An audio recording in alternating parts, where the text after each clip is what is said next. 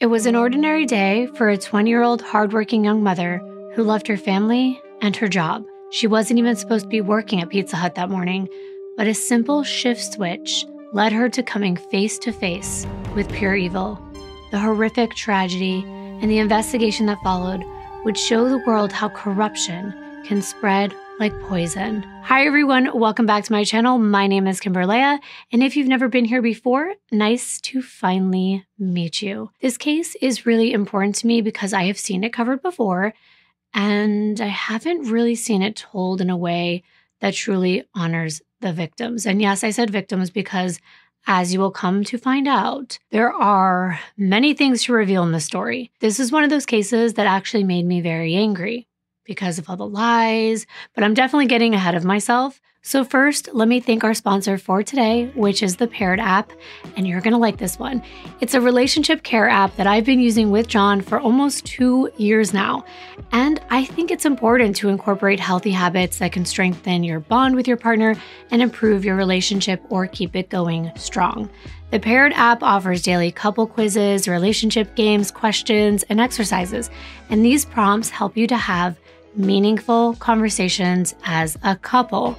And I love that you can complete them on your own time, anywhere. You don't have to be right next to your partner. But what's cool is that when you answer, it unlocks their responses. For example, John did a quiz about disputes called Got Beef, and it asked questions about the way that he felt when someone disagreed with him or had something against him, let's say.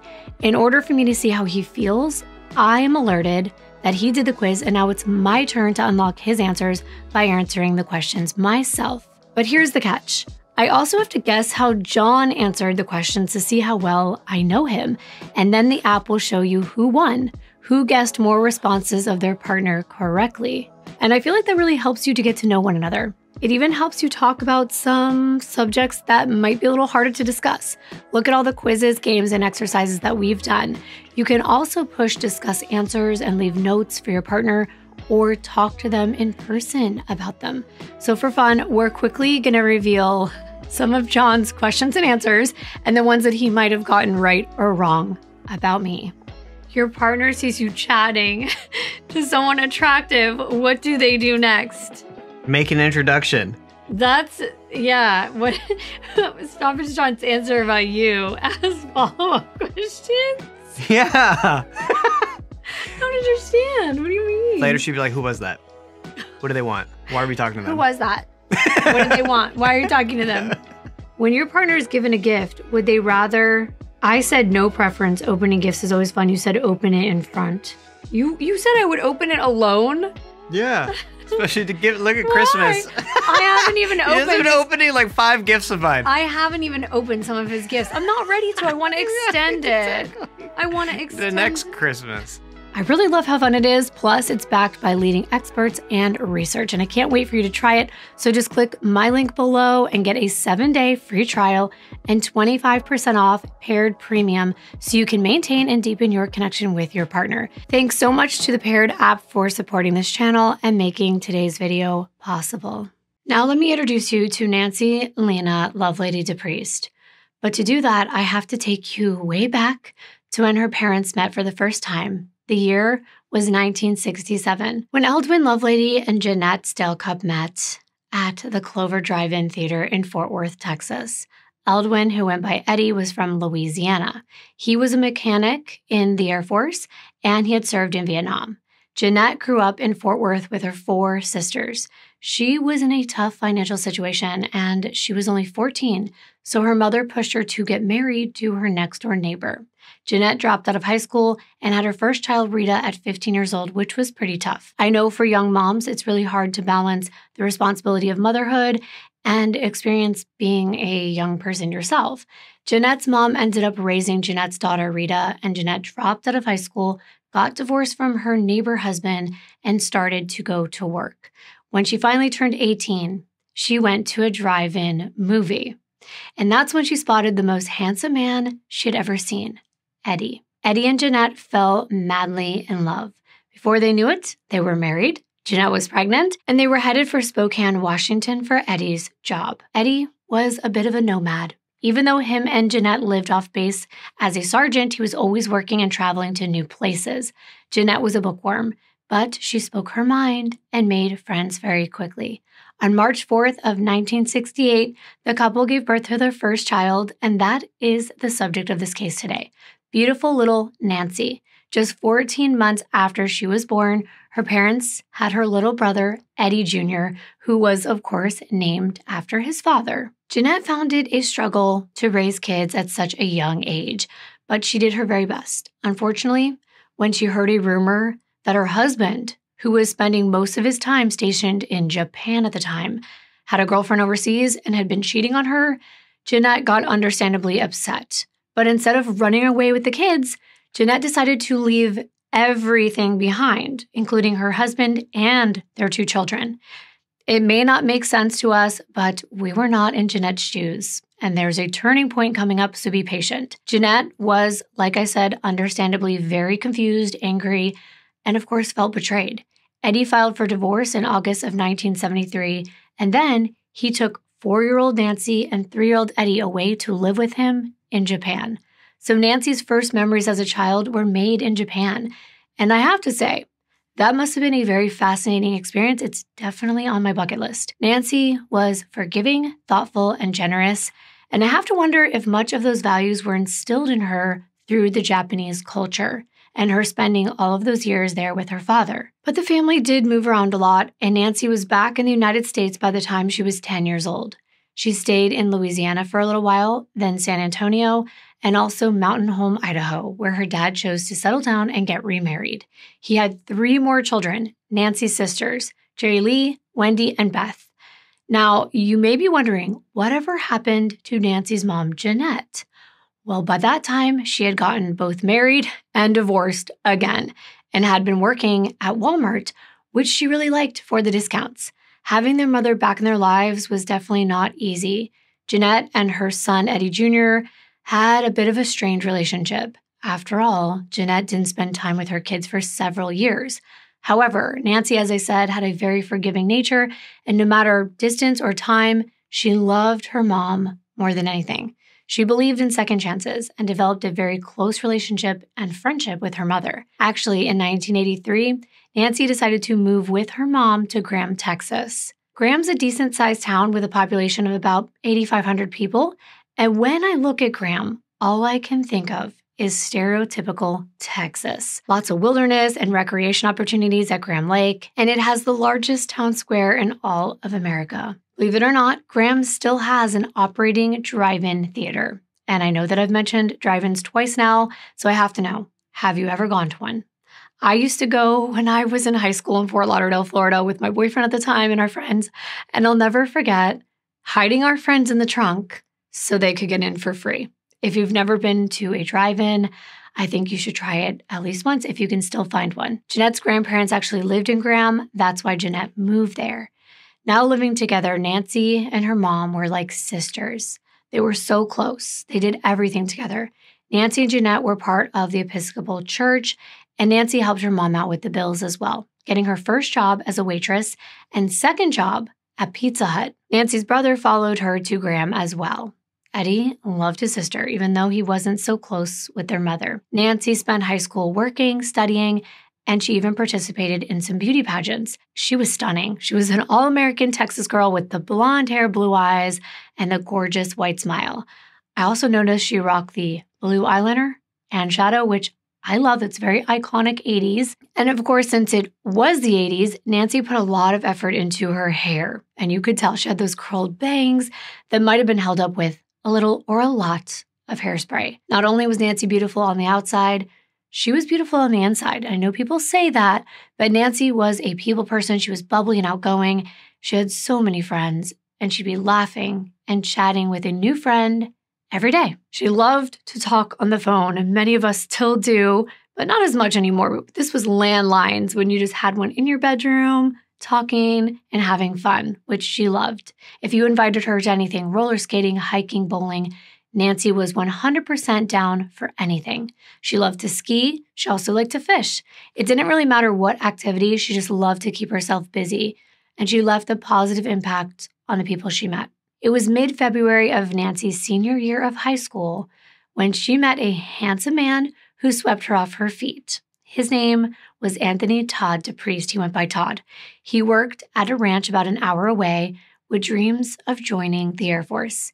He was a few years older than Nancy. She had just turned 18 at the time.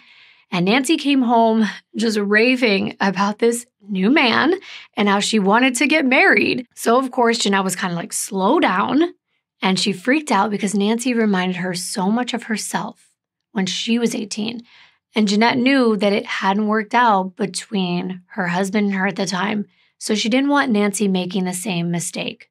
She hoped that Nancy would graduate high school and go to college before starting a family. But when Nancy wanted something, she did what she wanted. She loved Todd. So on her birthday, March 4th, she moved in with him in Granbury, which was about an hour and a half drive away. On May 1st of 1986, they were married. And soon after that, Nancy graduated from high school.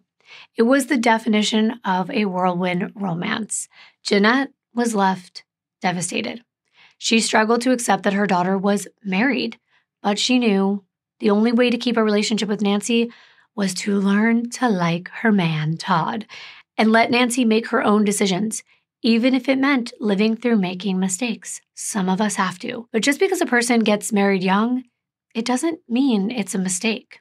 The thing is, Todd didn't like Jeanette either, which was understandable since it was the typical mother in law, son in law situation where the mother in law didn't fully support the decision of the person her daughter ended up marrying. But Jeanette just wanted to protect her daughter. But Nancy was an adult, and when she found out she was pregnant with a baby girl, she felt completely blessed. That's one thing Jeanette knew Nancy wanted. And though she didn't want Nancy to experience it this fast, Jeanette always knew that Nancy wanted to be a mother. And she even said that she thought Nancy was actually born to be a mother. She was just so loving and caring. Eventually, Todd was living his dream too. He got into the Air Force, landing a job as an aircraft maintenance specialist. By December of 1986, he and Nancy decided to move to Austin, Texas, where he could work on the base and she could get a job through Pizza Hut. She had been working there a pretty long time and moving up the ranks. She planned to work for corporate one day. They moved into an apartment at 2000 Cedar Bend Drive in North Austin, Texas. While the big city was an adjustment, Nancy absolutely fell in love with it. I love Austin, Texas, but especially she fell in love with her Pizza Hut community. There were 23 Pizza Huts in that area alone, but some people would work at multiple restaurants and hop around, and they would even do Pizza Hut softball tournaments. Nancy worked at three different locations in two years, and she felt like the people that she met were like a second family to her. Nancy welcomed her daughter into the world in July of 1987, right in the middle of the hot, muggy, sticky Austin heat. She named her Sylvia DePriest. She was born with a thick head of dark hair, just like her dad. They look like twins in this picture with Nancy. And Nancy was so in love. She talked about Todd and Sylvia constantly. They were always on her mind. She had this dream that once Sylvia was a toddler and old enough to walk, she was going to buy her one of those little motorized Corvettes, you know, like the Power Wheels ones. In April of 1988, Nancy started working for the Pizza Hut near I 35 at 1011 Rainley Street. I'm going to say Rainley. I like that way that that sounds. Even though last video, I got so many comments with people saying that I was saying Arkansas wrong. I know how to say Arkansas. Arkansas, Kansas is an actual place in Kansas, and it's Arkansas. So we're going to call it Rainley Street. And she was working as an assistant manager. She showed all of her coworkers pictures of her family, and everyone knew she loved her life. And I can't say this for everyone in management positions, but Nancy was a great manager and she was happy with her job. She was caring and understanding as a supervisor, and she went out of her way to help others. By October of 1988, Nancy was 20 years old. Her baby daughter was just over a year old, 15 months to be exact, and Nancy had a routine. She would spend the mornings taking care of her daughter and the evenings managing the Rainley Street Pizza Hut. And when she wasn't working on the weekends, she would spend her time with Todd. I mentioned that Pizza Hut had a softball league. Well, Nancy was one of their most dedicated players. It wasn't that she actually loved softball. She wasn't really a softball person, but she loved events and she absolutely loved connecting with people. Like I said, she was truly a people person and just genuinely nice to everyone. So that's why being on the team was something that she dedicated much of her time to. That's actually the reason she had to switch her shift on Monday, October 24th. She was supposed to be working Monday night on the 24th, but that conflicted with a softball game. So she asked one of the managers to switch AM and PM shifts, and she asked her babysitter to take Sylvia that morning. Nancy woke up on the 24th, put her work clothes on, and made the 13 minute drive to Pizza Hut with baby Sylvia in her car. Whenever both Nancy and Todd had to be somewhere, Todd would do what he did that morning. He'd follow behind Nancy on his motorcycle because, of course, they needed the car seat for Sylvia, and they only had one car. Then Todd would switch to the car after Nancy was dropped off at work. Then he would take the baby to the sitter bring Nancy's car back to her workplace, and then leave on his motorcycle. It sounds complicated, but this was just one of their routines. When they arrived at Pizza Hut, it was 7 o'clock a.m. Todd left his motorcycle in the parking lot, took Nancy's keys, drove Sylvia to the babysitter, then came back to the Pizza Hut to get his motorcycle. He arrived back there around 7:40 a.m. He knocked on the employee door of Pizza Hut, gave Nancy her car keys, and gave her a kiss goodbye. Then he drove away on his motorcycle in the direction of the Air Force Base, not knowing that that was the last time he would ever see his wife alive. It's always so shocking for me to think about that part because you just never know. You may wonder why Nancy is getting to work so early when Pizza Hut doesn't open until 11 a.m. It's more of a lunchtime dinner spot. Well, Nancy needed extra time because she needed to open the store, go through all of the checks and everything from the night before, but she also needed to start making the pizza dough. It was part of the morning shift and the responsibility of the key holders like herself. Even though Nancy was all alone in the restaurant, all the doors were locked, so Nancy was completely safe. But when Nancy's general manager called her at 8:30 that morning to do their Monday morning check-in, she didn't answer. And that was a little odd because Nancy was usually a very responsible and responsive employee. Perhaps she was just busy, so he waited a few minutes and he phoned her again, but Nancy still didn't respond. By 9:30 that morning, when her boss still couldn't get a hold of her, he began to get worried. The store had to be open on time. And of course, he was also concerned about why Nancy wouldn't be answering after calling her again and again, over and over again for the past hour. That wasn't normal. He decided to head over to the restaurant, wondering if maybe Nancy forgot that she'd switched to the morning shift or to see if she was just running behind or busy. When he arrived, he noticed something unusual right away. The employee door was not locked. And usually, this door is locked until normal business hours. But what this meant to him was that Nancy had made it to the restaurant and unlocked the door, but he wondered why she seemingly hadn't locked it behind her once she made it inside. Upon first glance around the dining area when he stepped in, he didn't notice anything out of the ordinary, until he actually took his first few steps further inside. That's when he was concerned and confused. The restaurant floor was covered in water. It was about an inch deep all over. It looked like somehow it became completely flooded. So, what happened? He called out to Nancy. He doesn't get a response. As he stepped deeper into the restaurant, he can see and hear that the dough machine was still running in the prep kitchen, which meant that Nancy was there. But where was all the water coming from and where was she? The manager knew that something wasn't right. He walked towards a counter, which faced the front of the store, and then past the counter and around the corner. And that's when he realized that the water seemed to be coming from the men's restroom. When he opened the door, he realized why Nancy wasn't answering. He saw her bare, unclothed body lying beneath the sink. This was a horrible sight for him to see. She was clearly unresponsive, bleeding from her head, her blonde hair stained red, and he knew it was Nancy right away. Her eyes were still open, but it's like she couldn't see him. She was just staring blankly. The manager rushed back outside to alert the authorities. Rookie cop Officer Scott Ahart from the Austin PD was dispatched along with his partner. When they arrived and they got inside, they too saw all the water on the floor. They noticed there was more of it in a higher concentration near the restrooms, which made sense. They made their way into the men's restroom where it seemed like the water was pouring out. When they opened the door, they see the woman lying inside. As he's quickly looking around, taking everything in, he sees what he described as spots of coagulated blood in the water next to her. He could tell that she was tied up with her bra, and it appeared as though she had suffered a gunshot wound to the head. Of course, by the initial appearance of everything, Officer Ellert thought she was deceased. But then all of a sudden, he saw what he thought was her breathing. And as he got closer, he realized that she was still alive. He started talking to her, trying to get her to respond, but she didn't. All she could do was gasp for air. So, of course, they radioed for emergency services and they rushed Nancy to the Brackenridge Hospital. She was in very critical condition and not expected to survive. Medical personnel quickly began working to try to save Nancy's life. She underwent emergency surgery before they even had a chance to officially identify her. Her family was unaware that this normal day at work would turn so deadly.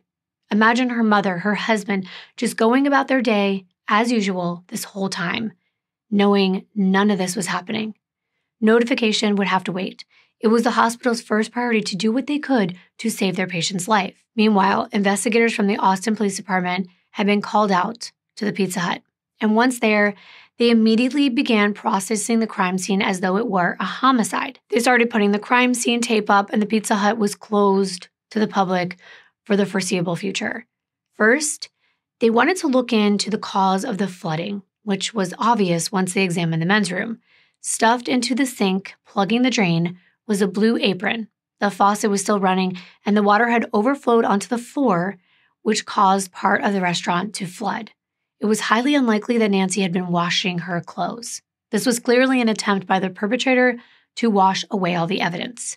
Right near the toilet, on the ground, there was what looked to be a pair of khaki pants and light blue underwear crumbled on the ground, and the lid to the garbage pail was on top of them. Nearby was a white button down dress shirt which appeared to have blood on it. It made sense that these were Nancy's clothes. Her bra was used by the assailant to tie her hands behind her back, and it was still on her when she was taken away from the scene. The person who did this tried to get rid of all the evidence, but there was something obvious they left behind.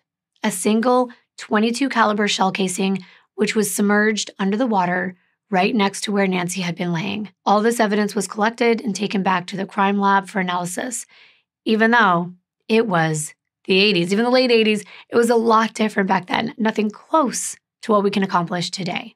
Considering Nancy was nude, though, the investigators assumed this was a male perpetrator, and they believed she was most likely sexually violated. At this point, they went through the Pizza Hut looking for signs of a struggle. When they looked at the lock on the door, it was completely intact. There was no sign of a break in. So they began to wonder if Nancy had let her attacker inside and whether she knew them, or maybe they followed her inside, overpowering her as she entered. Or did this person have a key? There was a sign of a struggle. They found one strand of hair in an area of the restaurant where customers waited for their pizzas and they played arcade games. The hair was missing its root which would make it really hard to identify through DNA analysis. But it was still the best evidence they had. And I'm sitting here thinking, how do they know that a single hair in a restaurant where so many people frequented would be related to this crime? And I get it. Everything's important, no doubt. I'm just wondering. I'm a curious person. I cannot help it. But next, the investigators checked the cash register, wondering if this was a robbery, because that year, there had been a string of robberies in Austin, and the criminals were actually targeting Pizza Huts. I'm not sure how much money Pizza Huts usually have in the store, but it was the 80s, so lots of people were paying in cash. In the four robberies, no one had been hurt, and all those robberies had occurred in the late afternoon and early evening, so it seemed unlikely that this was connected. But when they got to where the safe was, the floor safe in the back of the restaurant, it was open. Now, if you have not seen my video on Robin Hoynes, the Kentucky Fried Chicken murder that also happened in the 80s, these floor safes were very common back then. It's where employees would deposit their nightly cash, usually in a bank bag, but not in this case. It seemed to be missing. They checked the receipts, and there was exactly $150 in cash unaccounted for. Of course, this was enough to raise a red flag, but they wondered would this warrant taking Nancy's life. Maybe she could have identified the robber and they decided this was their only way to silence her. Or Nancy may have just been in the wrong place at the wrong time. I can't help but think if she had worked her normal shift that night, maybe things would have been different. But that means that maybe someone else would have been hurt. It just breaks my heart when I think that she shouldn't have even been there when this crime occurred. Sadly, Nancy wasn't doing well at all. They had done all they could to try to save her life. She was the only witness. They were hoping that she would somehow make it, not only so she could tell them who did this, but because investigators had learned she was a mother and a wife, and they were so saddened by what they had witnessed. She was so young and had so much life to live. Unfortunately, Nancy was in a coma clinging to life. She was put on life support while her loved ones were contacted so that they could say their last goodbyes. Todd was at the Air Force Base when he got the call that Nancy was in the hospital. It was a moment of sheer panic. He had just seen her that morning. How was she now on life support? He dropped everything and drove his motorcycle to the hospital. When he was given the information about Nancy's condition, he called Jeanette. Jeanette and Eddie Jr. had just moved to a tiny home in Cedar Creek Lake, and it didn't even have a landline yet. Jeanette had spent the whole day going to convenience stores looking for jobs, so she didn't get home until 4 p.m. And that's when her landlord knocked on her door and told her she had an emergency call. Jeanette picked up the phone, asking, What's the matter? And Todd said, It's Nancy. There was so much fear in his voice that Jeanette knew that something was wrong. Jeanette's like, Is she okay? And she was freaking out at this point. And Todd said, There's been a robbery and she's been shot. Jeanette asked him how badly she was hurt. And that's when Todd broke down crying. And in between the sobs, he told Jeanette that Nancy was on life support and she probably wouldn't make it, that the hospital staff had given him the go ahead to pull the plug whenever he felt ready. Jeanette, of course, was distraught. She was hysterical. She just screamed, but in her heart, she knew that Nancy would not want to live in that state, unable to truly live. And she agreed with Todd to take her off life support, but she begged him to please wait until she could be by Nancy's side. And he told her he would. Jeanette was three and a half hours away and not immediately able to get a ride. While Todd stayed by his wife's side, Jeanette was not able to get there until early the next morning. And at 10:45 that night, the doctors pronounced that Nancy had irreversible damage. They could keep her on life support, but unfortunately her wounds were so bad that the moment she would be taken off, she would die. Right after Jeanette arrived, she kissed Nancy and told her goodbye. It was hard to turn off that machine knowing that that was it. Nancy was an organ donor, so through her tragic murder, she was able to help several people who needed transplants, and she was able to donate her heart, liver, both of her kidneys, and her bone marrow. This procedure honors and respects the donor at the same time as harvesting their organs, and it takes between 24 to 36 hours to complete. Afterward, professionals are still able to move forward with things like an autopsy and funeral arrangements, which would come very soon. Right after Nancy was pronounced dead, her case was officially labeled a homicide investigation, and a homicide detective, Hector Polanco, was assigned the lead on the case. He was notorious for being quick and dirty with his investigations. He did whatever he could to always close his cases and get that confession. They were counting on him. Detective Polanco talked to the general manager since he'd be the one to find Nancy that morning. He had a good alibi and was ruled out as a suspect, but he was able to provide important information about the standard routine for Pizza Hut managers and shift leaders like Nancy, who had a master key to access all the stores, not just that location which meant that the key holders could walk into every Pizza Hut in Austin, Texas. This meant there was a very big pool of people that he needed to interview who could have targeted Nancy. But first, they want to rule out everyone who worked at the Rainley location and then move on to other stores. But at the same time, their prime suspect was actually Nancy's husband, Todd, you know, the one who just pulled the plug. But his alibi checked out quickly. However, investigators were going with the theory that Nancy knew her attacker. Because she was so reliable, she wouldn't have just let anyone inside the restaurant, unless they were familiar to her or they were a fellow employee. It was also relayed to Polanco that Nancy had called a produce company around 8:30 in the morning and spoke to someone there and made an order for some items for the restaurant. That was the last time anyone had heard from her. So they had somewhat of a time frame between 8:30 a.m. and just before 10 a.m. when her manager found her. By the next morning, Nancy's case was already all over the Texas news. Officer Polanco did his best not to reveal any of the details of this case to the public, hoping to catch the perpetrator by what they knew about the crime. Nancy had been such a bright, nurturing young mother, and though very few people knew how badly she'd been hurt, they wanted the person that did this to be behind bars. There was already so much pressure being put on authorities. That year, there were 45 homicides, and there were no crime scene investigators back then. Homicide detectives did everything. There were only six of them, and they were burning out.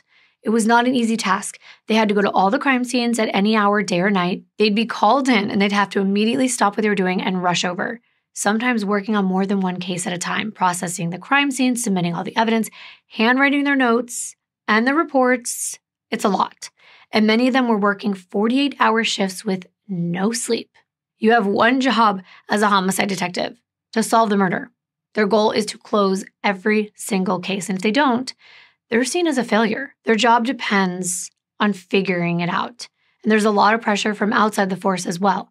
The victim's family is calling in every day asking for updates and the progress of the case. And it hardly seems like it's ever moving fast enough, especially back then. Not to mention how scared the community becomes. This means that detectives like Polanco are in a hurry to figure things out. He wasted no time and began interviewing every employee at the Rainley location. Just days later, by October 27th, he had interviewed every single person on the staff. Each one seemed to have adored Nancy, and Polanco was understandably frustrated because he had no viable suspects yet. He told all the employees to report any suspicious behavior that they witnessed going forward to the Austin PD. Soon after this, Nancy's autopsy results did come back from the Travis County Medical Examiner's Office. She had an entrance wound three and a half inches above her left ear her hair was shaved in this location to get a closer look at the surface of the wound. There was no stippling present, which meant that the gun was not close up when it was shot, but more of what was described in the report as a distant type wound. The projectile went through her skull, through the brain, from the back to the front, toward the front orbital area, and was lodged inside. They were able to retrieve a mushroom 22 caliber lead bullet, which was preserved and sent over to Sergeant Hector Polanco on 102688 at 9:40 a.m. The next part of this report confirmed investigators' fears about Nancy being violated by a male perpetrator. For the manner of death, the report reads, quote, "It is my opinion based on the investigation of the circumstances and findings at autopsy that the decedent Nancy Lena DePriest came to her death as a result of a gunshot wound of the head, distant type associated with sexual assault, and it was ruled a homicide." End quote. The semen sample was sent to the lab for DNA processing, which, by the way, I, sh- I don't even really need to say this, but it was limited. They used to call it DNA fingerprinting back then, had nothing to do with fingerprints. It was just mapping of the DNA. And it was just introduced that year in forensic type cases. Some of you may not be interested, like I am, in all of this, but you can learn some things in videos like this one. And then you can tell other people later on. I think as consumers of true crime, we should kind of know the history of evidence examination technology. First, it's always great to be able to say deoxyribonucleic acid, which is abbreviated as DNA. I'm sure you can see why it took me so long to be able to pronounce that. But DNA testing started with paternity testing in the 80s. And then they realized we get, you know, 50% of our DNA from our father, the other half from our mother. And this advanced to being used as a forensic tool. However, 99.9 of human DNA sequences are the same in every single human being. But there are some of our DNA that is, of course, unique to each of us, except for identical twins. So the analysis would isolate that part of the DNA. But back in 1988, the science relied heavily on blood typing. And as you're probably aware, many of us have the same blood type. There are only four main blood types A, B, AB, and O. And you can have a combination of those. So there are eight different blood types. Do you know yours? I am type O positive, and oddly, so is my boyfriend John. So as you see, We can have the same blood type as someone else who also looks entirely different from us. If you're not aware, our blood type doesn't lend much to telling what we look like. So it's not exactly a reliable tool when figuring out who your suspects are. But back then, if somebody was killed and they had, let's say, a blood type of O, and they find other blood on the scene, let's say from the attacker being harmed, and they have a different type of blood, then maybe they're looking for someone with that blood type since it's different from the victims. And that's how they could rule out a suspect. If somebody had a different blood type than what they found on the scene and it wasn't the victims, but semen is actually more likely to be found at crime scenes than blood. So they begin using that to extract the DNA. But back then, they used restriction fragment length polymorphism. You've probably seen this before. Maybe you don't remember the name of it, but it looks like this. It's when lines are compared in two samples. And if they are the same, then they conclude the same person was there. But if not, it's not a match. I'm putting this in the simplest example on the screen. They usually look like this, though. The point is, it wasn't the most accurate science back then. Plus, you needed a sample of a suspect's DNA to test and compare to what you found. So the detectives had to do the real boots on the ground investigation before this could even come into play. That meant isolating someone as their prime suspect. It wasn't long before the Rainley location Pizza was back in business, but now they hired a new security guard named Lorenzo. Everyone was scared there would be another robbery and someone else could be hurt. So Lorenzo actually stood guard at the front door and he monitored the restaurant and the patrons inside and outside. Well, remember when the investigators told the employees if they saw anything suspicious to call them? Well, let's fast forward to November 9th, a little after two weeks from when Nancy was killed. Austin PD got a call from the night manager at the Rainley Pizza location. She said that two young men had come into the restaurant. They pulled into the parking lot and they just sat there with their headlights shining toward the restaurant for about five minutes. And then they went inside, sat down, and ordered two beers. They were just sitting there, sipping their beers while scanning the restaurant in silence for a while. Then they clinked their beer mugs together. But what was weird was what they were overheard saying by the security guard. They were toasting in Nancy's memory. But as far as the night manager knew, these guys didn't know Nancy personally, so why were they even there? And they were happily at the scene where her murder took place making a toast. That raised a red flag. But there was more. Lorenzo was on duty that night, and one of the young men approached him asking why he was acting like a security guard. The guy introduced himself as Richard. He started asking about Nancy, whether it was true that she was found near the cash register, and if the police had identified any suspects. He also wanted to know if Nancy had been shot. When Lorenzo said that was classified information, Richard actually speculated that two people might be responsible. Lorenzo was getting creeped out now, so we asked Richard who he was and where he was at the time of the murder. Richard replied that he worked at the North Lamar Pizza Hut and was opening that store at the same time that Nancy was killed. Then the two men left before they had even finished their beers. Well, that was another red flag. Richard worked at another Pizza Hut location and opened. So that meant that he had a master key. The night manager from the Rainley location reported all of this suspicious behavior to the police, who made note of everything. As someone interested in true crime, I've spent hundreds of hours researching cases before, but I don't recommend hanging out in the area where someone was killed and then asking a bunch of questions, especially not long after they were murdered, because it will raise a red flag. Sergeant Boardman of the Austin PD followed up with Lorenzo to see what he knew about these two men in the restaurant and Nancy's death. Lorenzo had not heard what type of bullet was found in Nancy's body, and he also didn't know what items of clothing had caused the bathroom to flood or any specifics about the crime scene. Then Sergeant Boardman started looking into Richard from the North Lamar Pizza Hut, and this is what he found. Richard Danziger was 18 years old. He worked at both the Red Lobster and the North Lamar Pizza Hut location. He had just started dating his manager, Donna, and in September, his roommate, Chris Ochoa, was a line cook at the Pizza Hut on Guadalupe Street. Chris was 22 years old and definitely the guy who had gone with Richard to make that toast to Nancy's memory. This meant that all three of them were employees who knew the layout of Pizza Hut, and two people in association had master keys. Boardman had a feeling that Richard and Chris were somehow involved, and wondered if Nancy might have known them, since remember, she bounced to different restaurants in the Austin area and she played on the Pizza Hut softball team. Had Richard or Chris maybe targeted Nancy? Had they tried to rob the store and didn't know that Nancy was going to be there that morning? Or were they just innocently having a drink at a location? Sergeant Boardman figured out the address to Richard and Chris's apartment, which they shared with Richard's brother Ralph and a roommate named Roger Lewis. Richard and Chris weren't home at the time, so Sergeant Boardman found Donna's address. On Friday, November 11th, he paid her a visit. When he arrived, her boyfriend Richard was sitting on the couch. Boardman asked Richard if he would mind coming outside and talking to him for a moment. Richard agreed.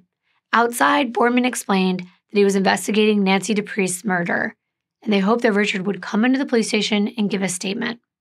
That's when the story gets strange. This is from the records of the investigators involved, and at this point, there was Sergeant Boardman, Detective Polanco, and Detective Sergeant Edward Balaja. The report was that Richard pointed through the door in Donna's direction, saying, That's my alibi, pointing to his girlfriend. He explained he was asleep at the time that Nancy was murdered. But didn't he initially say to Lorenzo that he had been opening up the North Lamar location that morning? Sergeant Boardman asked Richard to come back with him to the station where he took turns interviewing Richard with Detective Polanco. Richard said he heard that Nancy was shot in the back of the head with a 22 caliber gun and that the perpetrator had stuffed a blue apron in the women's restroom to flood the store and erase evidence. The investigators were pretty shocked. They didn't know how he could have known that. Lorenzo, the security guard closer to the case, hadn't even known those details. Richard said he heard it from Donna's supervisor, the general manager of the North Lamar store. But Boardman already had that supervisor's number on speed dial. He left the room, called them up and asked them what color was the apron that was found in the restroom. And the supervisor said they didn't know. So, how did Richard know these details? This was not looking good for him. Boardman told Richard nobody could have possibly known that information unless they had been at the crime scene.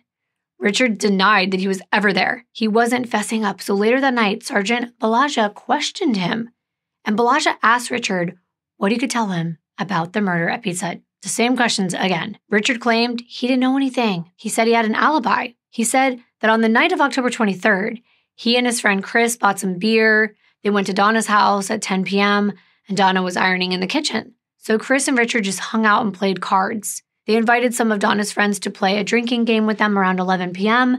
Then Chris was getting tired, so he left. But within minutes, he said Chris came back to the apartment saying that his car key was broken. So they called Roger, their other roommate, to come get him.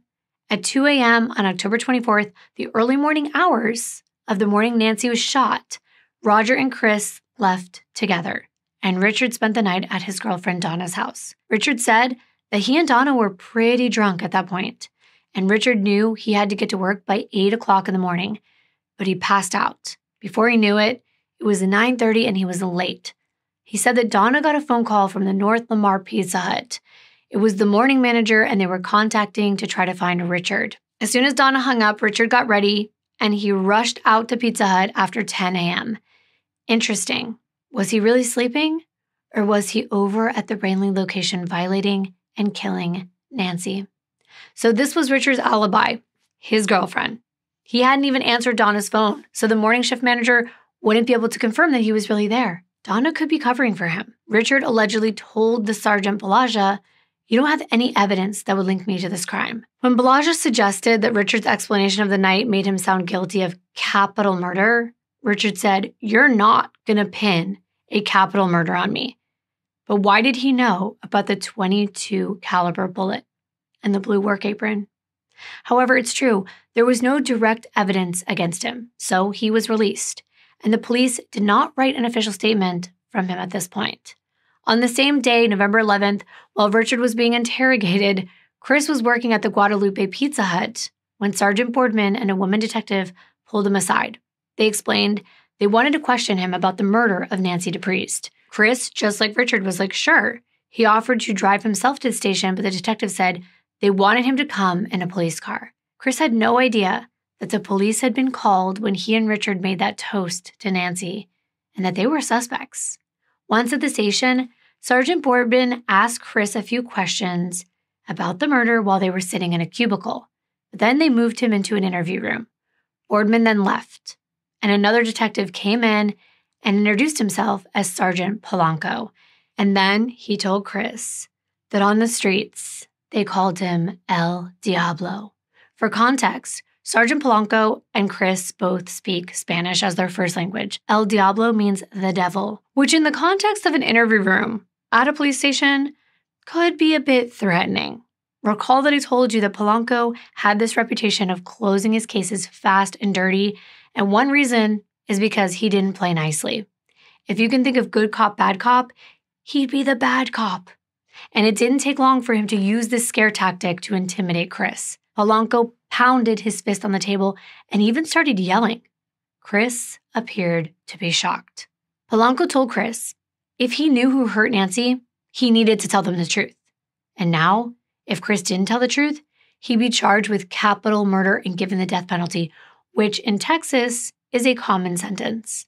Chris told him he did not know who did this. But after a while, Polanco switched tactics and left the room. There are actually a lot of interesting interrogation tactics that are utilized by investigators. One is to leave the suspect all alone and record them to see if they say anything or do anything out of the ordinary. At this time, it wasn't commonplace to have a video and audio recording going on, but the tactic of making them sweat, so to speak, by leaving them alone to think can work and you can get a confession. Sergeant Balaja was the one that had been interviewing Richard, and he came in and he was playing the good cop. So they were utilizing this well known tactic. Balaja apologized to Chris. He was like, I'm so sorry for my hot headed partner. He said Chris could go home as long as he was telling them the truth. And again, Chris pushed back and said, I don't know anything. Then Balaja left and Polanco came back in. Chris was not under arrest, but he also hadn't requested an attorney. So the questioning continued. And I want to remind everyone you should always remain silent and ask for an attorney. If you're being questioned, it's your right.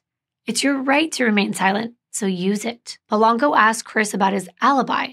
Chris said at 8 a.m., he was asleep in the apartment that he shared with Roger, Richard, and Ralph. He said he did remember that around maybe 8:30 that morning, he heard Roger talking in the room next to him on the phone with one of the Pizza managers and said that Richard was spending the night at Donna's.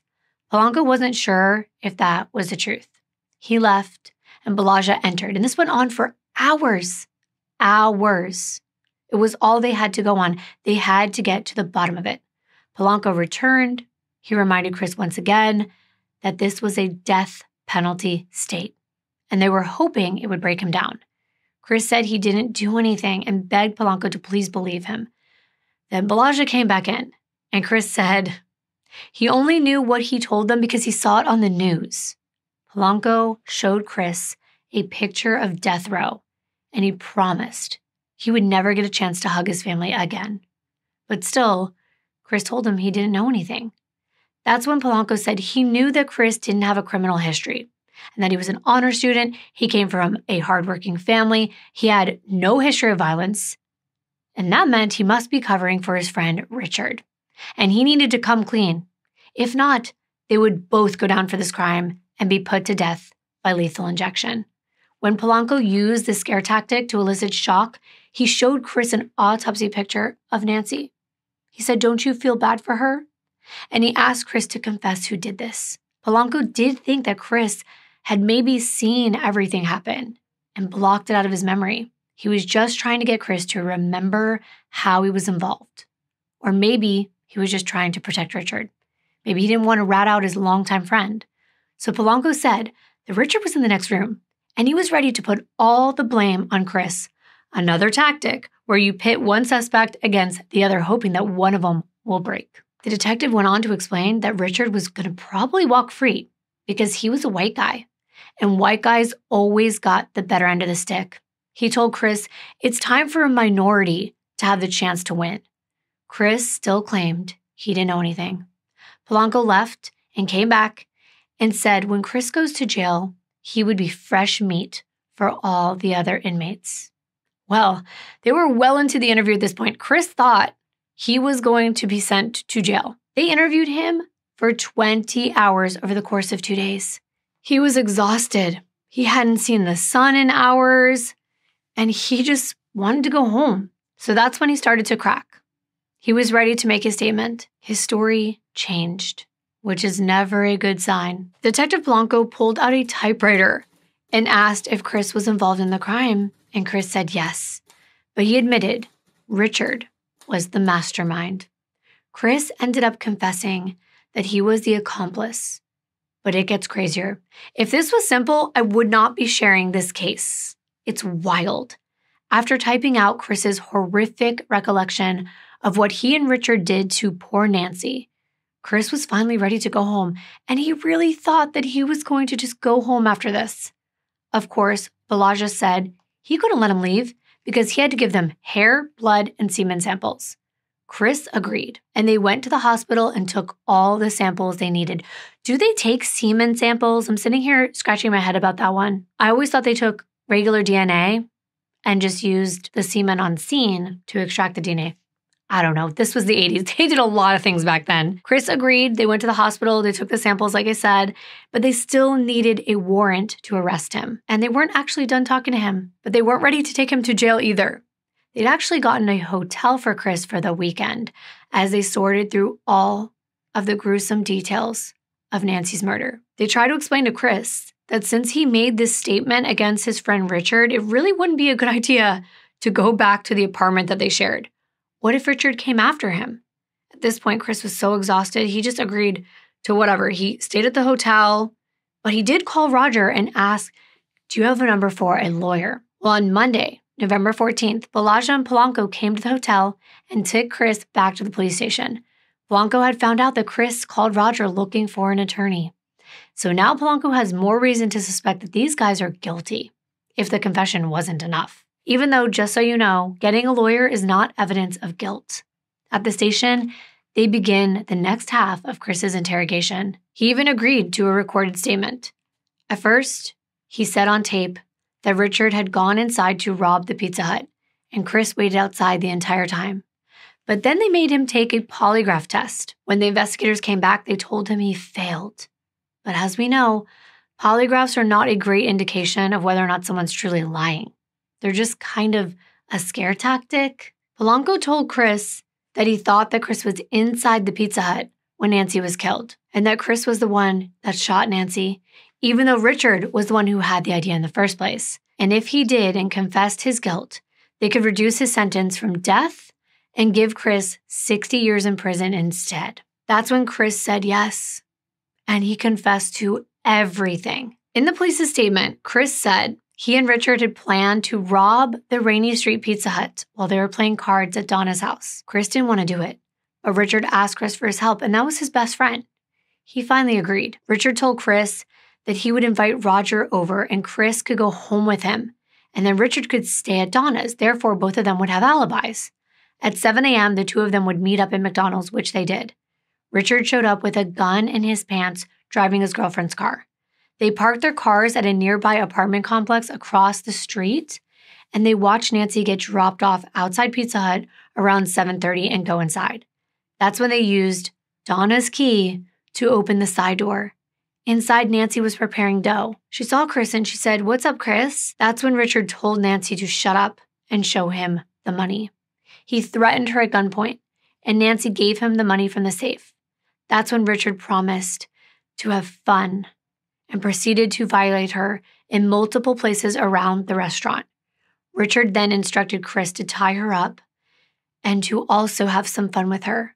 Polanco wrote that Chris said they did this to her eight times while Nancy begged for them to stop. Then Richard said that they would have to kill Nancy because she could recognize them. Richard then shot Nancy in the head, and both of them proceeded to violate her again before putting her clothes in the sink to wash away all the evidence. Chris signed the statement in front of witnesses.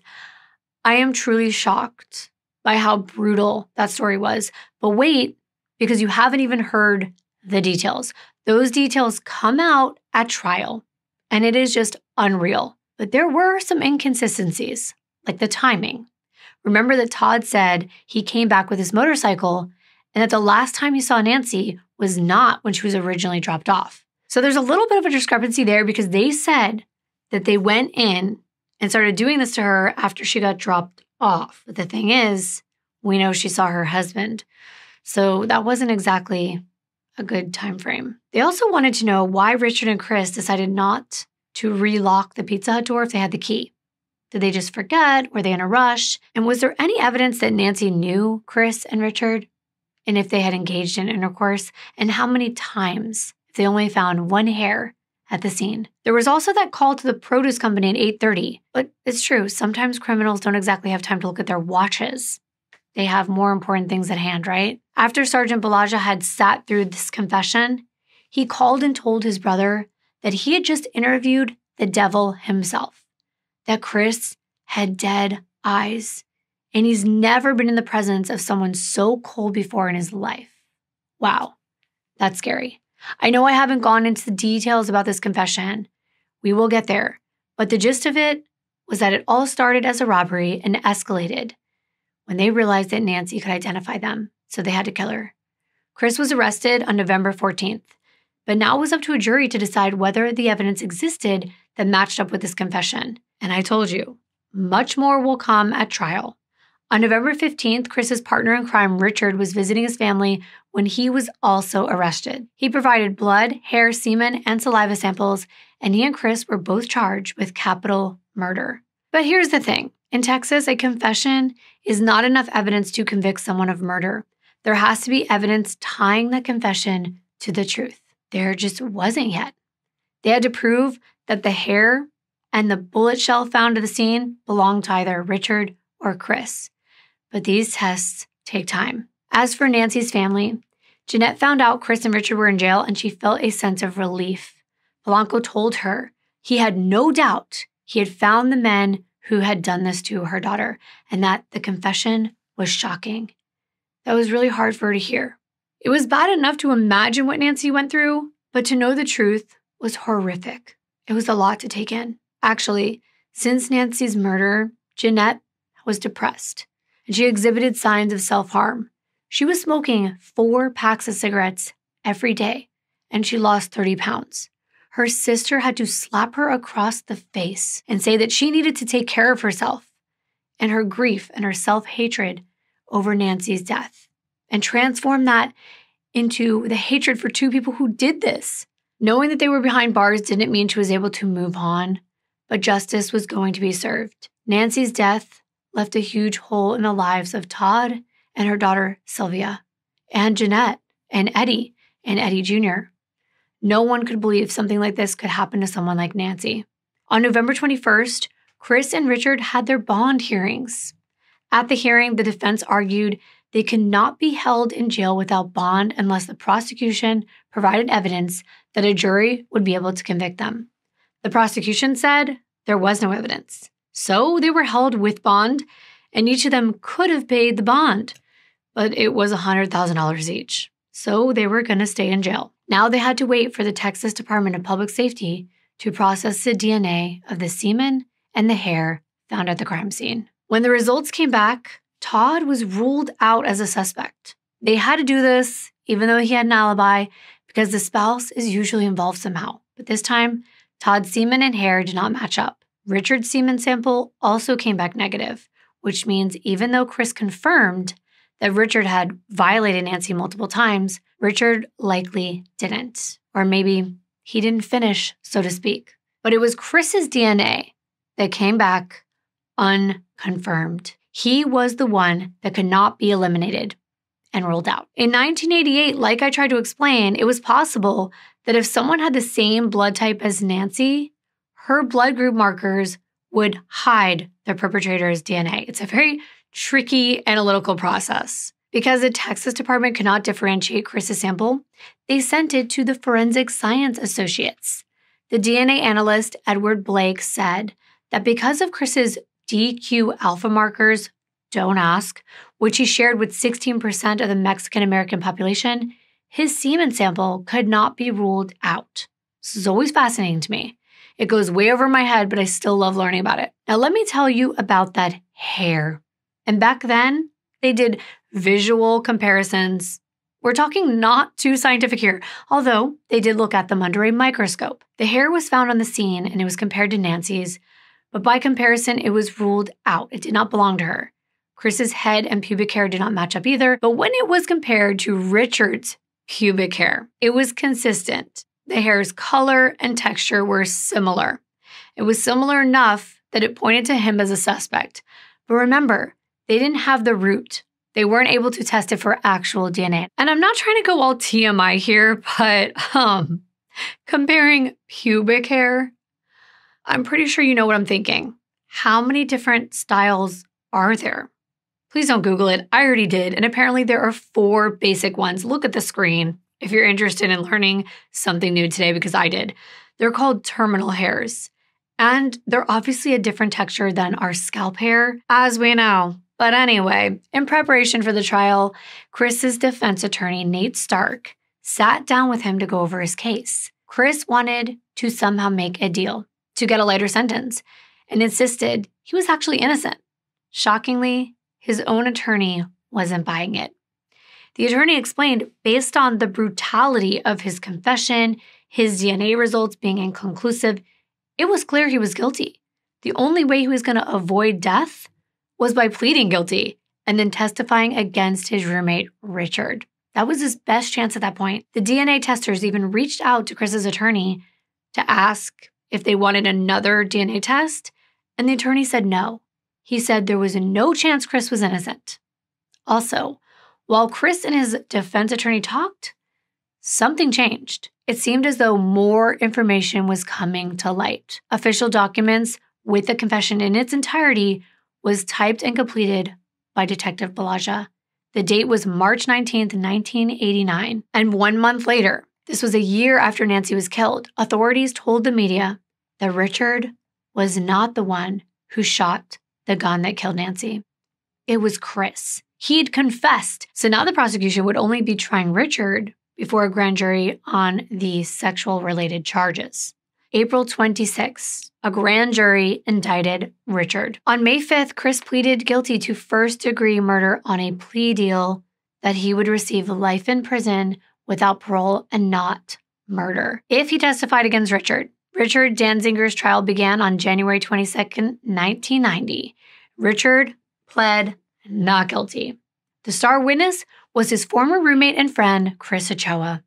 The DA prosecuting the case was Claire Dawson, and she told Nancy's mother not to be in court that day. She didn't want her to hear the brutality that her poor daughter faced. But Jeanette told her, You don't understand. I have to. I can't live without knowing what they did to my baby. So she stayed and she listened as Chris took the stand. I pulled up part of this transcript and I was shocked. It's just so horrible. And I can't even share everything because it's not only disrespectful, because uh, you could use your imagination, but I'd certainly not be permitted to say it on this platform. It started with what we already know that on October 23rd, Richard and Chris went to Donna's. They drank, they played some games. Richard wanted money, Chris didn't want to do it. Richard had a whole plan with Roger and Donna as their alibis. At five o'clock in the morning, Roger came over. He and Chris drove both their cars to their apartment instead of Roger and Chris taking the same car. Chris only slept an hour before he committed the crimes against Nancy. Chris and Richard went in with the key. They demanded that Nancy open the safe and give them all the money, which she did. But this is where the story changes. When Richard decided they needed to kill Nancy, they had already gagged her then they brought her to the hall near the bathrooms, the area where the video games are, where people normally waited on their pizzas, and they threw her on the bench and they tied her hands behind her back. Chris said that Richard then unzipped his pants. And let's just say he was doing something to himself that was really inappropriate while telling Nancy he was going to bone her. Then Richard forced her to kneel down, then handed Chris the gun and told Chris to kill her. Chris got behind her he had the gun in his left hand and he had his right hand on her right shoulder. Chris said that she was begging for him not to hurt her, saying, Please don't, please don't. And he said he pulled the trigger and shot her in the back of the head. Then she slumped forward, and when he let her go, her body fell face first into the tile floor. That's when Chris said he asked himself, What have I done? Then Chris said they took her into the woman's bathroom and he points to where it is on a diagram so the jury can see. The prosecutor asked how they got her in there, and he said they dragged her. Chris said he held the door open and Richard picked her up from the shoulders and dragged her inside. They had previously gagged her, and at this point, Richard took that gag from her mouth. Chris said he just yanked it off and proceeded to have intercourse with her down there and also in her mouth. Yeah. The prosecutor asked Chris if Nancy was bleeding, and he said yes. But when he was asked if she was moving, he said no. At that point, they thought she was already dead. Wow. How cruel and how disgusting. After Richard was finished, he told Chris it was his turn to have some fun with Nancy. And at first, Chris said he didn't want to do it, but that made Richard mad.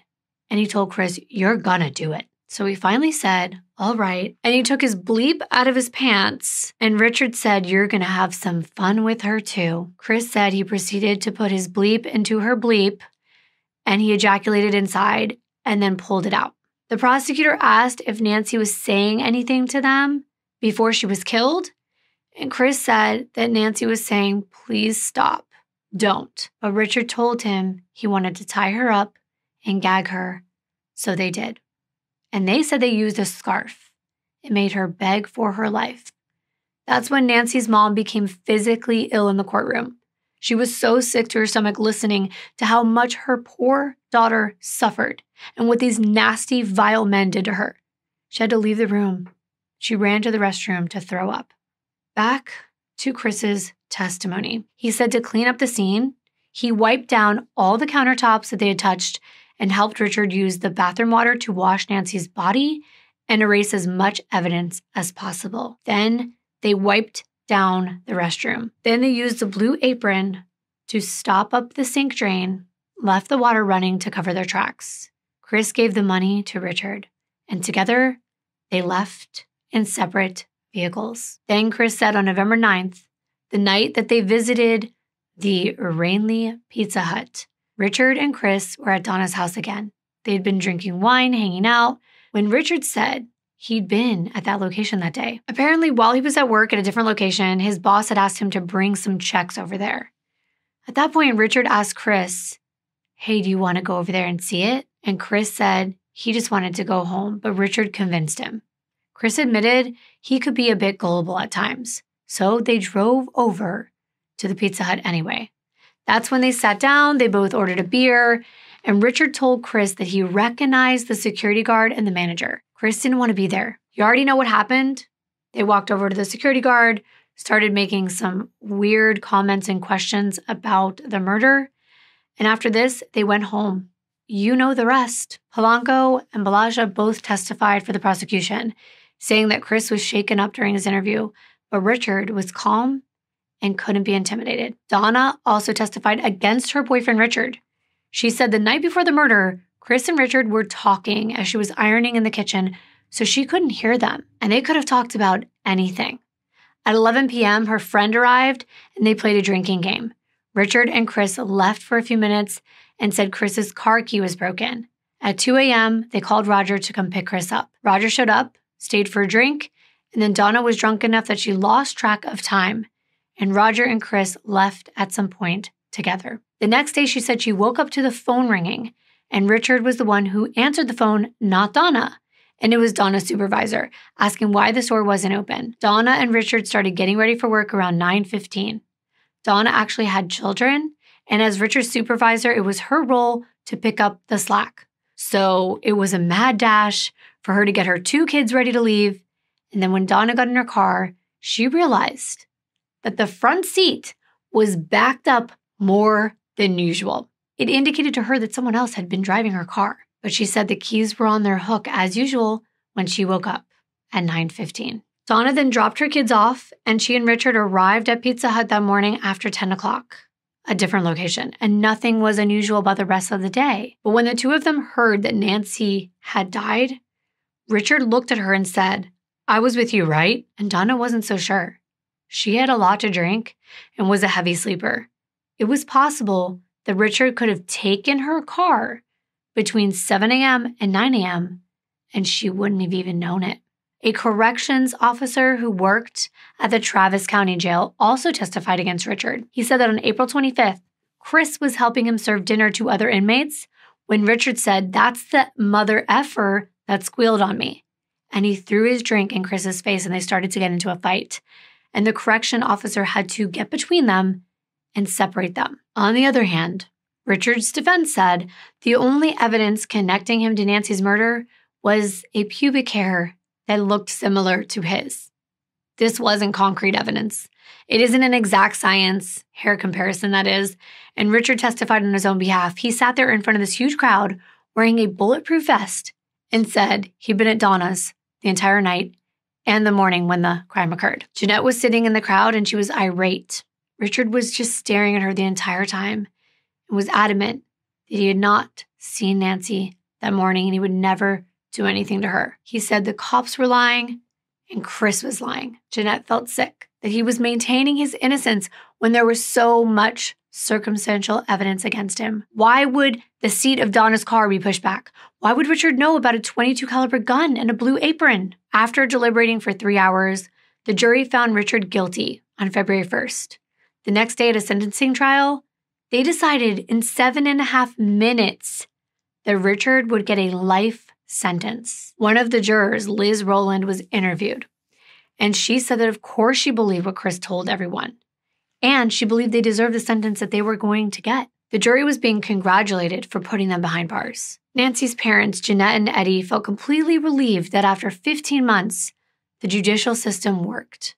Richard was going to jail, but Jeanette reminded the public that this trial was about getting justice for Nancy, and she didn't want Nancy to be remembered by Richard speaking for himself at trial. She wanted people to remember how beautiful Nancy was and how much she loved her family. The week afterward, Chris Ochoa was sentenced to life in prison for capital murder. The case seemed finished, but in the next few years, more evidence would come out. And bear with me, because this information is wild. That is why I wanted to cover this case. It already seems so unbelievable. Well, you just wait. I know that it's hard with so much information, but I'm telling you, your patience will pay off. This case will stick with you. Let me take you to six years after Richard and Chris were put behind bars. Investigator Manny Fuentes was assigned to investigate some very strange letters that were being sent all over the place from a Texas inmate. He was a really bad guy. He was already serving three life sentences for sex crimes and armed robberies. The letters were full of crazy ramblings which is actually pretty common. There's lots of bored inmates with nothing better to do with their time. This inmate's name was Achim Josef Marino, and he had apparently been sending letters to different politicians, police stations, and investigators for years. On February 17, 1998, Achim wrote a letter to George W. Bush, who was the governor of Texas at the time. He received this four page handwritten letter in the mail that month. This guy was one of the worst he was sexist, racist. He had a long criminal history. I'm not going to go into it all. But he really wasn't someone that most of us, especially a governor, would give the time of day. But Detective Fuentes was tasked with giving them his time. And I have this letter. I went through it word by word. It starts with the subject line murder confession. That should get anyone's attention. Then it reads Dear Governor Bush, sir, my name is Achim Josef Marino and then he gives his inmate number and where he's currently confined. He writes that he's serving three life sentences plus three 10 year sentences for crimes committed in Austin, Texas in both 1988 and 1990. Then he goes on to say that while in Austin in 1988, he also robbed and sexually violated a 20 year old woman at the Pizza Hut on Rainley Lane. This was in late October of 1988. After purchasing the murder weapon, via the Austin American Statesman classified section. The woman's name was Nancy Lena DePriest, and I have not been convicted for this crime. I was arrested in El Paso, Texas, where the murder weapon was confiscated by the El Paso Police Department. However, the federal government convicted him on other charges and not Nancy's murder. Apparently, he had now gone through a religious transformation after attending an Alcoholics and Narcotics Anonymous program in prison. He wanted to come clean about being responsible for Nancy's murder. He said, I'm 100% responsible. Well, as Detective Fuentes was looking into this, he was told many times by the Austin PD that he was wasting his time. All he had to do was look at Chris Ochoa's confession. The guys who really did this were already in jail, and that he should just ignore this lunatic who's writing these absurd letters. But just to be sure, Fuentes went to visit Chris in prison that same year, but Chris absolutely refused to speak to him. His first words were, I have nothing to say. Just let me do my time. It seemed like his colleagues were right. He was wasting his time. But there was something about all of this that just seemed off. For one thing, back in 1992, two years after both men had been on trial, Detective Polanco, remember him? Diablo? Well, he was fired. He had been accused of coercing false confessions and lying on the witness stand, not in Chris and Richard's trial, but enough other cases that it was clear he wasn't reliable and neither was his shoddy police work. Someone had caught him on video beating up a suspect. I mean, if he did this once, there's a strong possibility he'd done it again. Polanco faced charges and then he was exonerated. Was videotaped violence not enough to convict him? I don't know, I guess not. Because Polanco went right back to his job. And by 1998, he was still serving on the force. However, this raised Fuentes' suspicions. He wanted to use his own skills to reanalyze this case from scratch. So he went back to square one. Was it true what Achim said in his letter? That Chris and Richard were basically arrested for a crime that he committed? Fuentes pulled up Nancy's case files and started examining all the photos taken at the crime scene. He pored over the evidence piece by piece and he noticed something. A few things. One was the shell casing found in the bathroom where Nancy's body had been found. She was not in the hallway where Chris stated that he shot her, and neither was the shell casing. Why would Chris move the shell casing to the bathroom? Had it somehow made its way there on its own? It didn't seem likely. Plus, there was something even more telling the blood spatter. Upon further investigation, Fuentes noticed there was a bucket in the bathroom that had high velocity blood stains on it, which meant it was nearby when Nancy was shot. So she was shot in the bathroom, not the hallway. The stains on the hallway wall were not consistent. They were low velocity stains, most likely from when emergency personnel was trying to either attend to her or move her or revive her. That's when Fuentes decided he may be onto something. He went back to Achim's letter, now looking at it with more confidence that it might lead him in the right direction. He called the El Paso PD and referenced the case regarding Achim from 1988. It happened only two days after Nancy's murder, and unbelievably, they still had the gun in evidence. He requested it and he brought it in for forensic testing. It was also a 22 caliber, the same caliber of bullet recovered from Nancy's head. However, Fuentes dug deeper into Achim's letter, and there was something that stood out. Achim claimed that at the time of his arrest, he literally had the keys to the Pizza Hut in his possession, as well as two bank bags with the name of the Pizza Hut and the bank on them. And these items were put into his personal property locker in the county jail when he was being processed. And that's crazy to me. Clearly, if you look at these items, they're evidence from a crime. They're not a wallet or personal in nature, but okay. So Achim said these items stayed there for 14 months until his friend Janet Vaughn, who he provided an address for, picked up all his personal property when he was finally transferred to prison. He said she took it all to his parents' house, where it remains till that day. He was even paroled in 1990, but rearrested for another offense. And that was when his cellmate told him that two men had confessed to Nancy's murder, which just baffled him. He told his cellmate they had the wrong guys. Now, he didn't admit that he did it, but he said he knew the guy who did. This was before his spiritual awakening. The letter went on to explain that he had written to the Texas District Attorney's Office multiple times since 1996, and every single letter had been ignored. And that is when he wrote to Bush. And the governor's office didn't get back to him either. I mean, at this point, Bush was most likely trying to prepare to run for president. So maybe he was just a little busy. But I know it can take months before you get a response if you get one at all. But months and months passed, and Achim never got a response. But he never gave up. Achim wrote again, this time to the police. He said in that letter that if they went to his house, they would find all the evidence involved in the crime. This included the bank bags, the handcuffs that had been used to restrain Nancy. But the Austin Police Department was skeptical. Here was this random guy writing them from prison saying he was responsible for a case that they'd solved years ago. But now that Fuentes was on the case, he sent an officer to Achim's parents' house, and they were able to find everything he had promised. The 22 caliber bullets, the bank bag, which held exactly $150 that was missing from the safe, a pair of handcuffs, which were sent to the crime lab for DNA testing. What? I told you this is crazy, but it didn't automatically mean they believed Achim. He could have been involved in the crime with Chris and Richard. Maybe they made some kind of deal, but the letter had already stated that he was the only one responsible. And he didn't know these other guys. Nevertheless, the Austin PD tried to make a connection. They looked and looked for one jail phone records, mail, shared cellmates, but there was nothing. So Fuentes decided to speak with Achim himself. He was brought to the Austin Police Department for an interview. Achim was calm and confident, and he told a very compelling story. He said that on the morning of October 24th, 1988, he was looking for a restaurant to rob. He went around randomly looking for ones that only had one car in the parking lot before opening hours. That way, there would most likely only be one person inside. He dressed like a repairman, carrying a toolbox and everything, pretending he was there to fix something.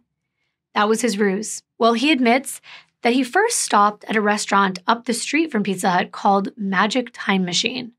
A man came to the door and actually let him inside, but he aborted the mission. He was hoping to find a woman inside alone. He was on a mission. He was out seeking revenge on a woman from his past who was white with blonde hair, a security guard that he felt had wronged him. He had promised himself if he found someone that resembled her that day, he would blow her head off. Yikes. Well, sadly, he found one when he stopped at Pizza Hut. He used the same ruse, and it worked with Nancy. She let him in, and he followed her to the back just as the phone rang. He let her answer it, but as soon as she was done, he asked her to come over to the beverage area because he needed to show her something. That's when he pulled out his gun and told her this is a robbery and to give her all the money in the safe, which she did. Then he forced her at gunpoint into the men's restroom where he told her to take off all of her clothes. She complied, and he tied her hands behind her back with her bra and made her go back to the storage area where he confessed to violating her only one time. Before he told her to go back to the men's room, he explained to her that he was going to handcuff her to the plumbing and leave her to be found later. Sadly, when she kneeled down to be handcuffed to the pipe under the sink, Achim said he shot her in the back of the head. She had no idea he was going to do it. She hadn't seen it coming. It was quick, and she didn't beg for her life or say anything. When it was all over, he said that he searched for the shell casing, but in haste, he couldn't find it and didn't want to spend any more time there, so he left it behind and fled. This was a lot to take in. But Fuentes decided to check out the magic time machine story, and sure enough, the manager at the time, Oscar Solis, said that a man did come by that morning. He let him in, he went to the back of the building, and then he just left without saying a word. This was all adding up. Had they had this information from the beginning, they probably wouldn't have believed Chris and Richard, but this meant that they lied about everything. Why? And on top of all this, it turns out George Bush's office admitted that Bush had received this letter. They only ignored it because he claimed that the district attorney's office had been notified. As for why the DA didn't do anything with this evidence, maybe it got lost, but it's unlikely. The state probably didn't want to admit they had gotten the wrong guys. I mean, that's taking a big hit to admit you got it wrong. After this, Chris was visited by investigators, but he thought they were going to accuse him of another crime and force another confession. He was afraid that if he said he was innocent, then he would be seen as not having any remorse for Nancy, and the parole board would never consider him for release. They asked him if he was innocent, and he said no. that he and Richard were responsible. But Chris started to have some hope. In June of 1999, he wrote a letter to the Wisconsin Innocence Project, who took on his case. At this point, the Texas authorities were looking into the case and hoping to actually exonerate both Chris and Richard.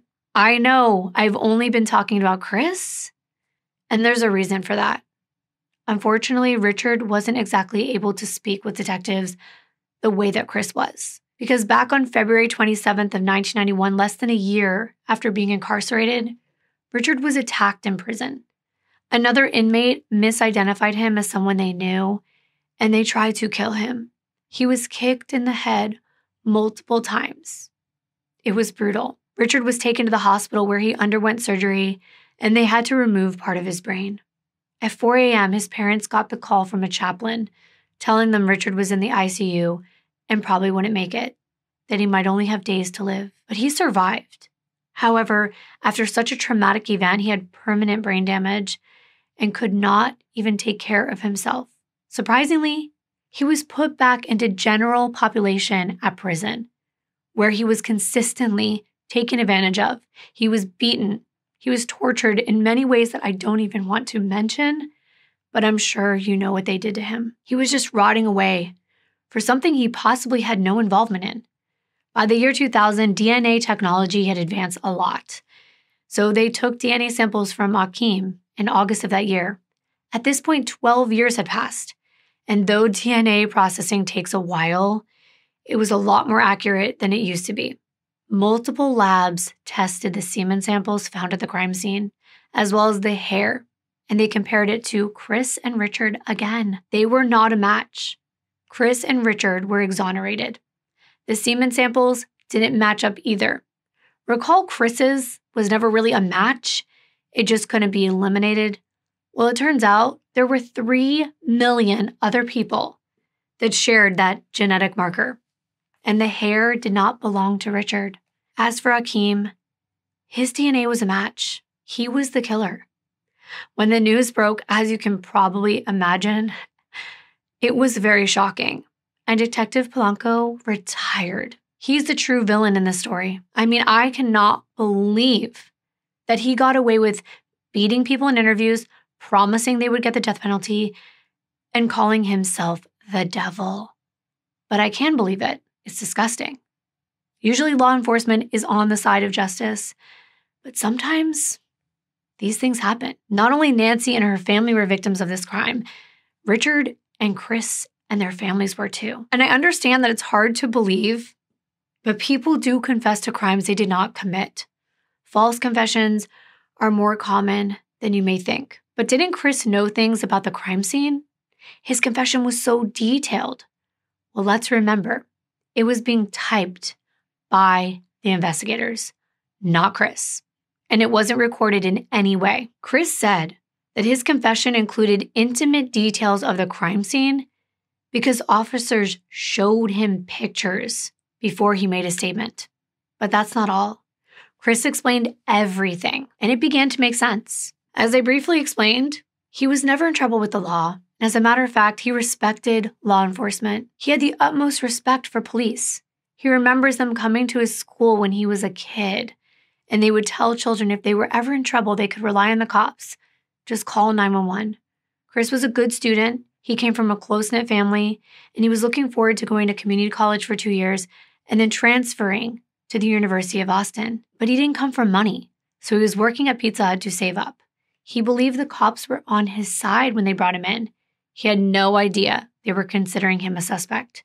He was just trying to help. Chris completely trusted that law enforcement had his best interest in mind not understanding that they wanted a confession. Polanco and Balagia claim that they used interview tactics that were commonplace. They weren't doing anything extreme. They were just playing good cop, bad cop to draw a confession out of someone who engaged in sketchy behaviors.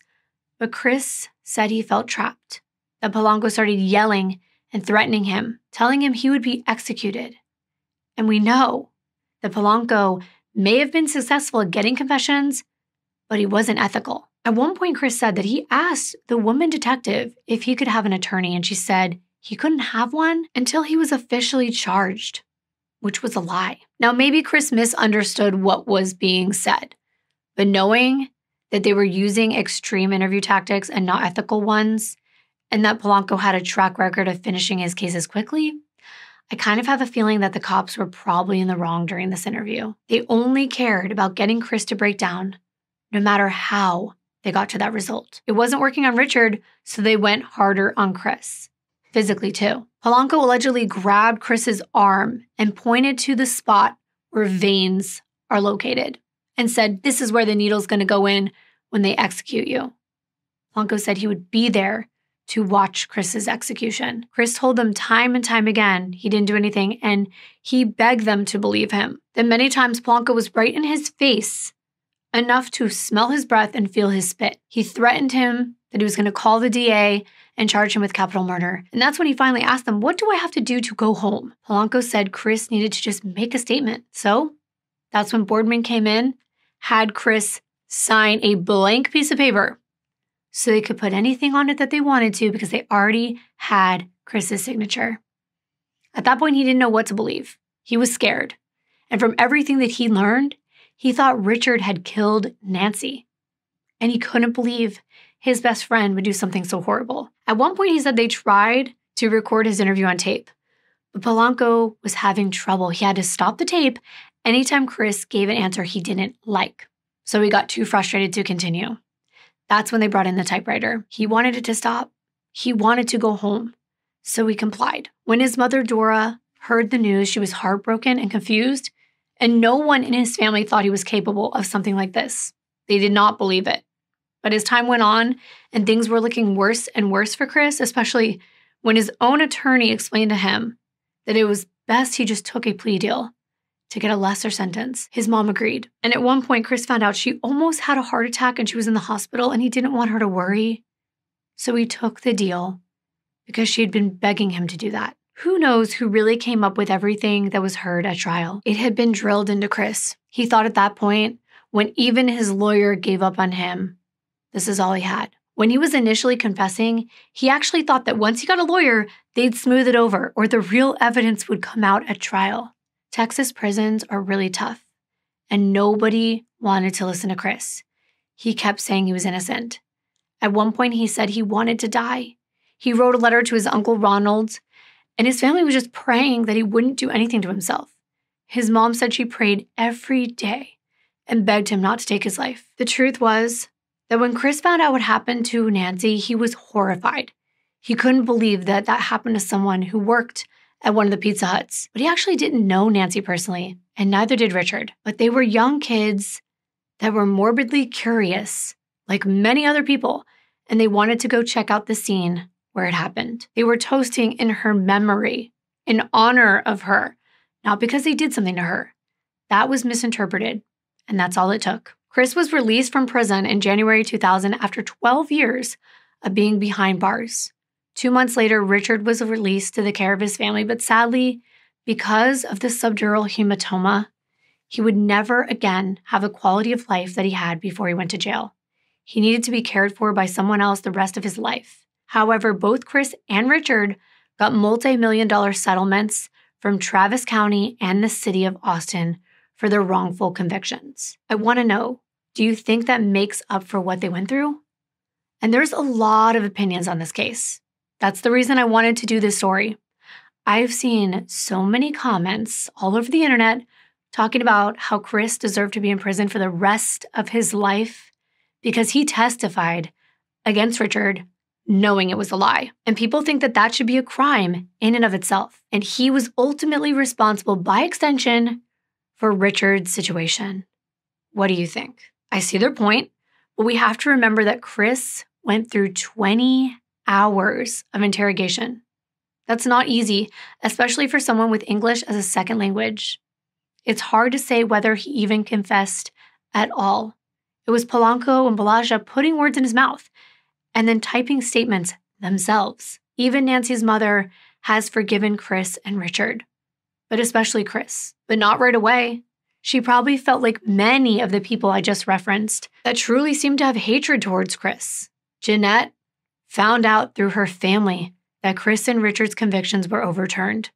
She had just gotten married and she was at work when she received a phone call from her brother in law telling her to turn on the TV. She turned on the TV at work, and there was a Texas district attorney saying that Achim was Nancy's murderer. Jeanette actually collapsed. She was livid. She was so mad they hadn't called her. All the feelings of devastation and grief boiled up again. She called the DA's office and she argued with one of the assistants, insisting that they already had the right people and now they were letting them go. Then she called Chris and Richard's lawyers. Both of them acted defensive, but Jeanette insisted she didn't care what the verdict was. She just wanted the truth. Well, the truth was they made a mistake. They told Jeanette that the two men were innocent. Jeanette, of course, couldn't call Richard, but she did call Chris. She talked to him in prison and she apologized to him and his family for all the suffering they went through. Of course, it wasn't Jeanette's fault, but she, like a lot of other people, believed the Texas judicial system was fair. But then she realized sometimes it's not. On January 16, 2001, when the Texas Court of Criminal Appeals overturned the convictions of Chris and Richard, Jeanette attended the hearings. And when Chris walked free, she pulled him aside and asked, Why did you confess? He said that in that confession room, there was no food, no water, no sunlight, and no hope. And it broke him. He didn't have the courage to defend himself and his friend. And the guilt ate him alive. Jeanette now wanted to find out herself what actually happened. She went to visit Achim in prison. There she asked, Why did you kill Nancy? And he told her that he had heard voices in his head since he was a child. And these voices were telling him to make a human sacrifice. He said she didn't fight him. Nancy was turned away, and she would have never seen the bullet coming. Jeanette was actually outraged that she and her family had spent years thinking Nancy had begged for her life for over an hour as two perpetrators tried to take away her dignity time and time again. Jeanette had reoccurring nightmares about the amount of pain Nancy must have been in, but now knowing that this story had been created and exaggerated by police, where's the justice? What happened to Nancy was horrible, but Jeanette still felt a tiny bit of relief knowing that not everything that happened happened the way she thought it had. When the DA's office asked Jeanette if she wanted to pursue the death penalty for Achim, she refused. She didn't want Achim's blood on her hands. In fact, Jeanette spent the rest of her life as an activist advocating against the death penalty.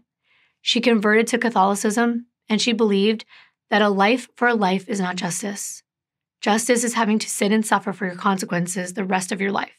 And I want to know what you think of the death penalty it's definitely a polarizing topic. You're welcome to come to whatever conclusion you want about Chris's innocence or guilt in all of this. But at the very least, I do try my best to have empathy and understanding, which I know isn't easy. But Chris did lose years of his own life. And he said, quote, Sometimes I think about Richard and I feel very bad because I didn't have the courage to face up to whoever might come to me so that he wouldn't go to prison. End quote. I want to mention that in the settlements, Richard received over $10 million and Chris received $5 million. And he gave a big portion of his payout to Richard and his family. But of course, the damage was already done. Remember that juror I told you about? Well, when they found out, they felt awful about being a part of all this. But she admitted that the evidence was very convincing. And the DA even made a statement. She said she truly had no reason not to believe Chris and the confession. She would have never prosecuted him if she had any doubt. But she wasn't armed with everything we know now. I wonder how many cases like this exist. The Texas Rangers began investigating Sergeant Boardman, Balagia, and Polanco for their role in Chris's false confession. The investigators didn't follow up on leads in the first days of their search. They didn't interview all of the witnesses, which is why we didn't get a testimony from Pizza Hut bosses, like Donna's supervisor. They had already jumped to conclusions and formed their own story. And there was little to no documentation of any of these interviews. Finally, in closing, Chris's confession included a ton of details that police knew were wrong. They never corrected him. In his confession, he did say several things that only the police or the perpetrator would know, but that's because he was fed all of that information. Unfortunately, because nobody had gotten evidence of Polanco and Balagia's good cop, bad cop routine, the investigation into their misconduct was unable to be determined. They couldn't tell whether Chris was intimidated into giving a confession, and none of these detectives got into trouble. Achim's trial was in October of 2022, and he pleaded not guilty by insanity. But he knew exactly what he was doing. He was sentenced to life in prison on top of the three other life sentences for the murder of Nancy DePriest. After all this, Chris actually went to law school at the University of Wisconsin, where he is now an attorney. In 2006, he and Jeanette testified in California that all police interrogations should be videotaped. Jeanette said, quote, I've heard lots of people say, I would never do that. I would never confess to something I didn't do. How do you know what you would do if you were in that interrogation room with the man they call El Diablo? End quote. False confessions happen all the time, not only from people suffering from mental illness or vulnerability, but people like Chris, who are intelligent and have good intentions. As for Nancy, her daughter Sylvia is now in her late 30s. Sadly, Jeanette passed away in 2019 at 69 years old after her battle with lung cancer, and Richard died in 2021 following his own battle with cancer at age 50. Todd and the rest of the family are left with their memories of Nancy, of the hardworking, dedicated, sweet, funny, and bright young woman that she was. It hurts me that so many people suffered due to negligence and the choices of an absolute monster. But I have hope knowing that people like Nancy exist and we can honor their stories and remember them for who they were before their lives were robbed from them. I want to thank you so very much for watching and listening to Nancy's story. I will see you in my next video. Bye.